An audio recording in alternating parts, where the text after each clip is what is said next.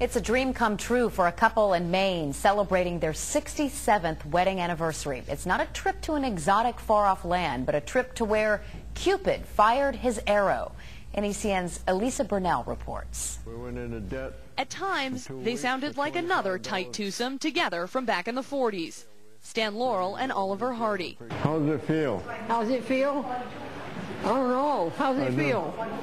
We've been married so long that uh, we only have feelings for each other. That's what happens when you've been playing off each other for nearly 70 years. I never had another girlfriend. She's had a few boyfriends, but nothing ever serious. when I spotted her, that was it. Red hair and blue eyes. And Winthrop Loring got his girl.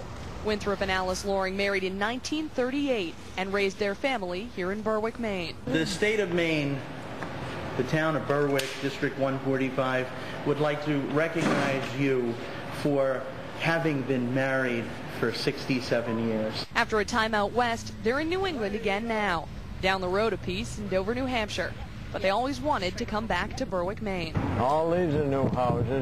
And see how things in town have changed. When we came down here the first time, the elder bushes were growing right over the road, so you couldn't get through here. The cherry on the top of their day, a picnic near a favorite old swimming hole. Come on, old man. The whole outing was put together by a group called Ageless Dreamers. It's like Make-A-Wish for our oldest generation, helping to make their dreams come true. There may be somebody living alone at home, and it's a neighbor, and you know that they would love to go do X, and they're always small. Widmark is founder of the nonprofit Ageless Dreamer Foundation.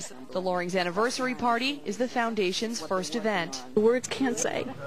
Just if my heart were showing, you could you could see it. The Lorings had no trouble letting their feelings show. Yeah, we've been crazy always. Still crazy after all these years. In Berwick, Maine, Elissa Burnell, NECN. The Ageless Dreamer Foundation will host another upcoming event for our oldest generation. Saturday, a 100-year-old woman will get to take a spin on a Harley. And any other folks over the age of 80 can take a spin for free at Seacoast Harley Davidson in North Hampton, New Hampshire from 10 until 2. Nice story, sweet couple. Very much so.